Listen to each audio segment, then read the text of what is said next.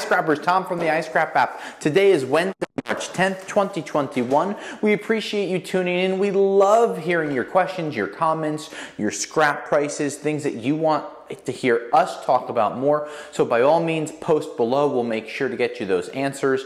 If we can post the answers during our live reports, we'll make sure to get you those answers. So post your questions today and we'll get you some answers pushed out there.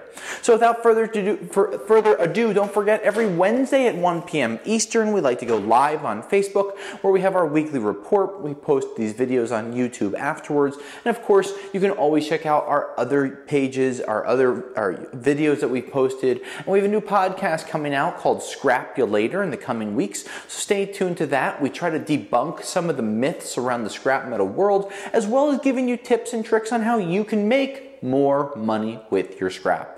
Over the last week, we've seen copper prices have a little bit of a tumultuous period, but overall they've been relatively steady. And what have I said for years, scrappers?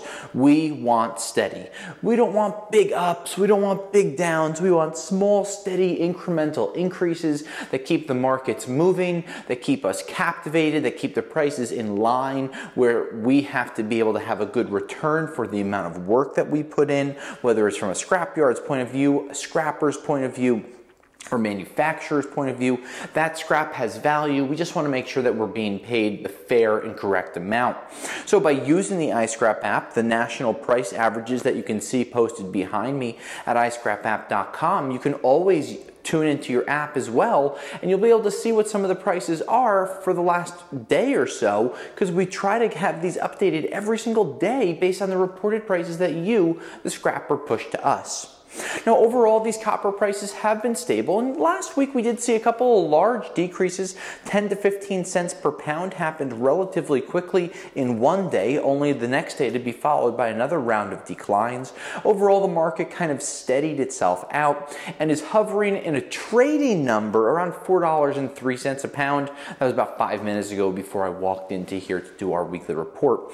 So, with markets stabilizing in that $4 per pound trading range, that gives scrapyards, brokers, traders, processors the ability to know where the markets are, and of course, you to be able to know where the markets are. It takes away a little more of the haggling where when you have big price increases or big price decreases, some of the things that we see happen are people try to haggle back and forth, or they really, they get really upset with the prices. When that happens, it creates a big domino effect that really is an unfortunate thing. But it's just part of the industry. So we're going to be talking about some of those things, price negotiations with scrapyards in some of the podcasts that we're going to be producing. Now, we know that many of you have asked us questions about becoming a Patreon supporter. And becoming a Patreon supporter is something that costs about 26 cents a day. And you're going to say, Tom, why do we need to pay you 26 cents a day for you to give us more tips and information? Well, you don't need to do anything, but if you want and are interested in learning more about the scrap metal industry by becoming a Patreon supporter, it gives you extra tips and extra market news that gets pushed to you every single day, sometimes multiple times a day, on top of the regular push notifications that we send out through the iScrap app to your Droid and Apple devices. Now, with these markets really being at a very strong point right now in the middle of March, we're looking forward towards the second quarter. Where the second quarter is going to go is going to be very interesting because as copper prices are trading very strong, we have a lot of things going on outside of the economic picture that are going to bring things in and we're not really sure where they're going to be going. 1.9 excuse me, trillion dollars is about to be printed out of nowhere. Poof. So you future taxpayers get ready to pay that back at some point in time and maybe, you know, never or the country declares bankruptcy. Who knows what's going to happen. But with $1.9 trillion being printed, we are sure to see some type of inflationary period in the second half of 2021.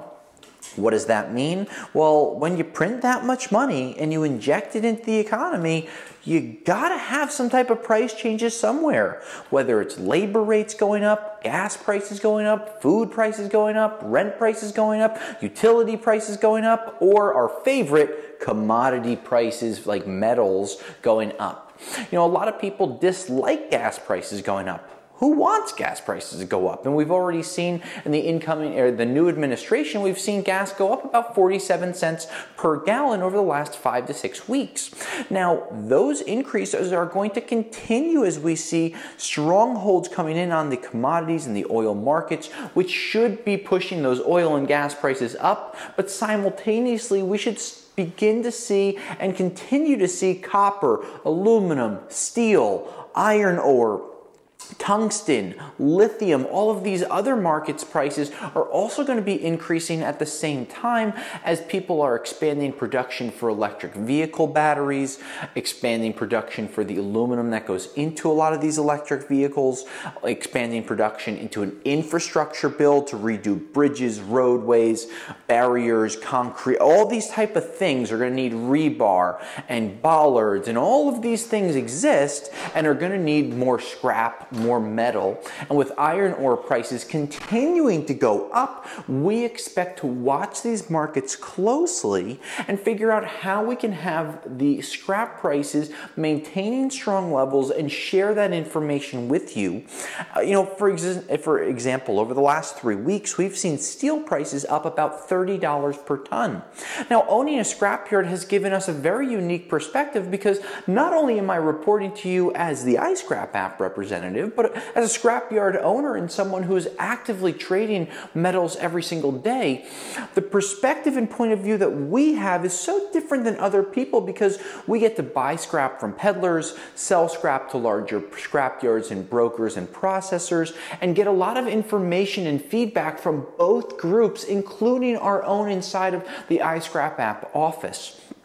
So by compiling all of this information week after week, day after day, that's how we can give you better reported prices, better market news. And we're able to take it and really boil it down because you don't need to know that iron ore is trading for 173 a ton where it was $50 a ton. But what you do need to know is that there's a massive demand for iron ore right now.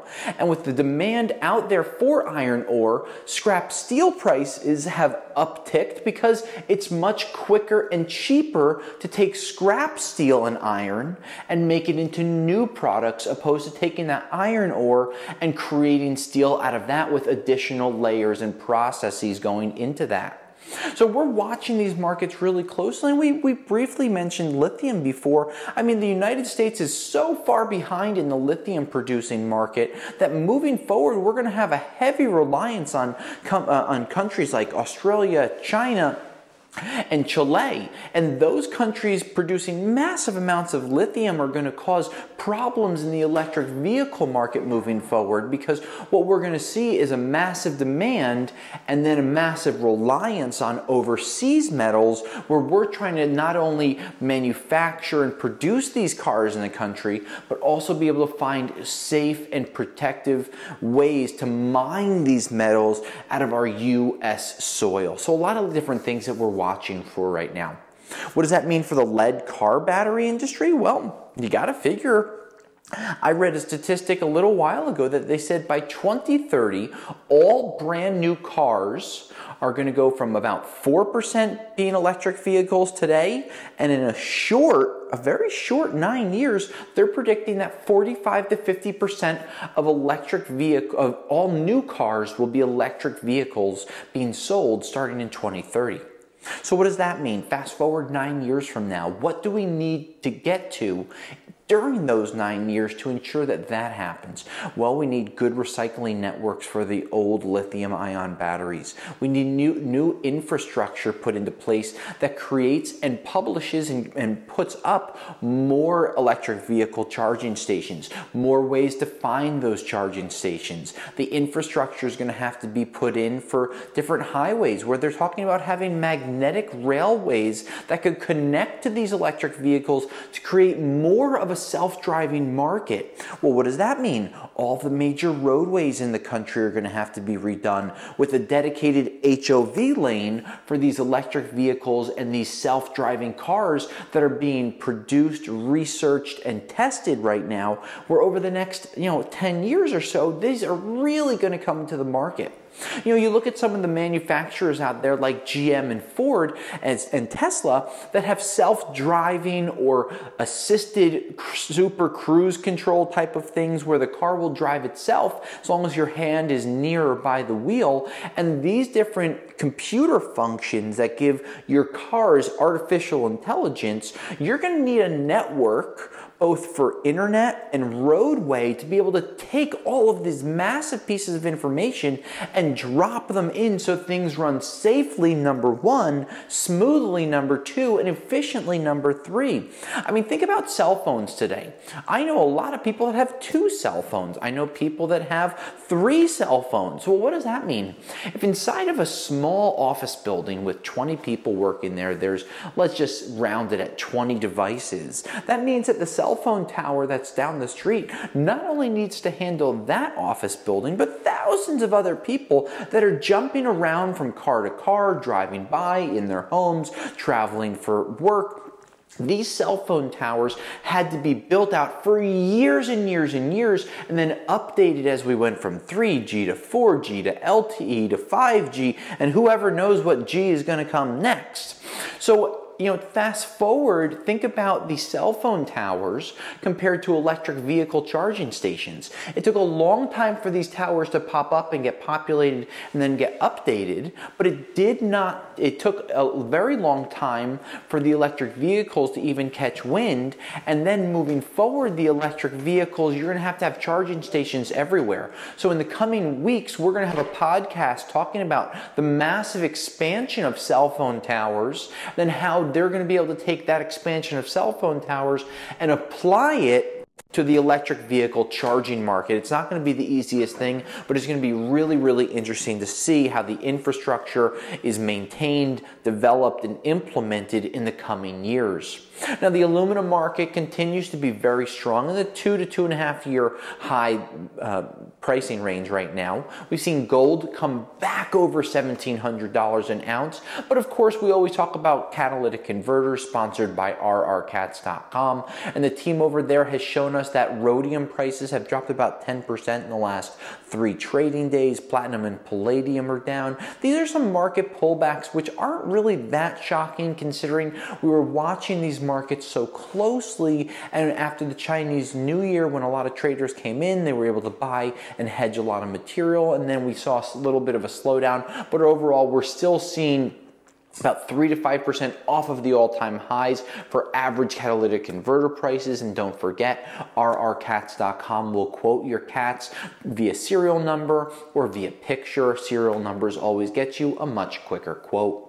Now, scrappers, don't forget every Wednesday at 1 p.m. Eastern, we try to do our weekly report, post our live video, post our blog out there to give you more information on your scrap. You can always subscribe to our YouTube channel, follow our Facebook page. You can be able to become a Patreon supporter by signing up through the link that we'll post shortly. You can always sell your cats to rrcats.com. Most importantly, share your stories, share your prices. Let us know what you're looking to learn from us about the scrap metal industry so we can help you make more money with your scrap. Scrappers, my name is Tom from the iScrap app. Today is Wednesday, March 10th, 2021. We look forward to hearing your questions, love seeing your comments and your posts, and until next week, scrap safe, scrap often, and I'll scrap you later.